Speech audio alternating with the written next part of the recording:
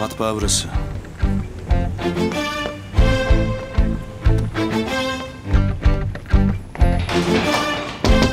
Kapı kilitli. İyi de kepenkler kapalı değil. İçeride hareket görünmüyor. Komşulara soralım. Belki bir yere gitmiştir. Belki de geldiğimizi gördü.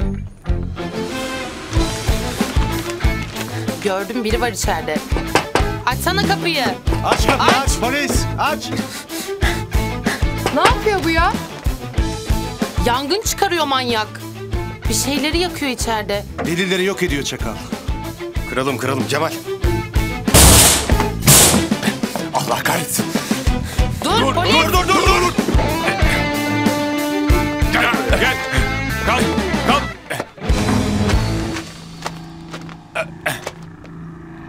Yangın mı çıkaracaksın lan? Ha? Binayı mı yakacaksın? Aa, kolum acıyor. Ah canım ya.